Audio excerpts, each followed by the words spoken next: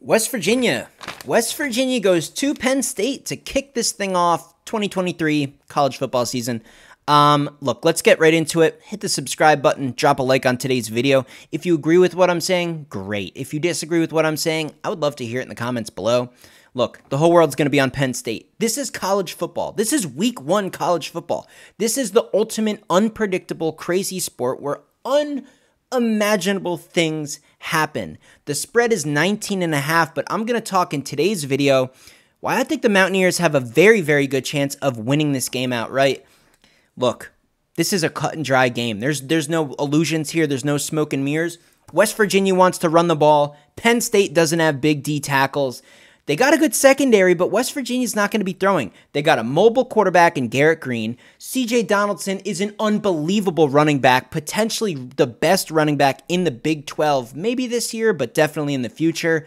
Pretty good offensive line for West Virginia. They're going to be run heavy. They know their only chance is not to let Penn State even touch the ball. Use as much clock as you can, keep the game within reach. One or two fumbles, an interception, a blocked kick, who knows what's going to happen? It's college football week one. But if there's one thing I do know from going to West Virginia, from being a graduate, West Virginia does not win games they should.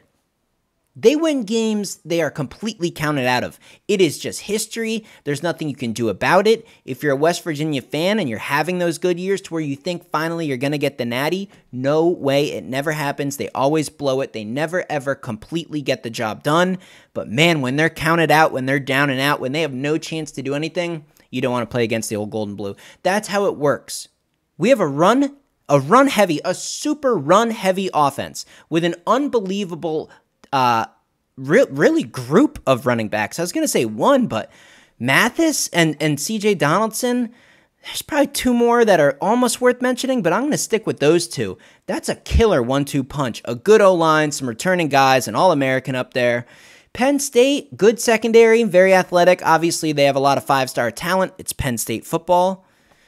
But can they stop the run? It, can can West Virginia manage this game just good enough? And can this new guy for Penn State? I mean, you got to realize they had the same quarterback for what, 15 years? I mean, he was there forever.